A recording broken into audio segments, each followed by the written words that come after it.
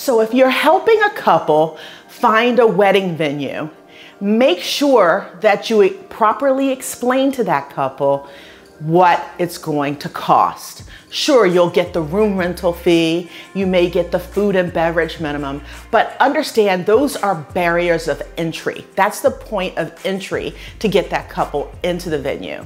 If you really want to grasp how much a venue is going to cost, you want to look at the service charge. What are their taxes? What is what are the menu fees, menu prices if their catering is in-house? because you want to add all of that together so you can tell the couple this is how much you'll probably spend. That is a much better understanding of the cost as opposed to just food and beverage and just the room rental.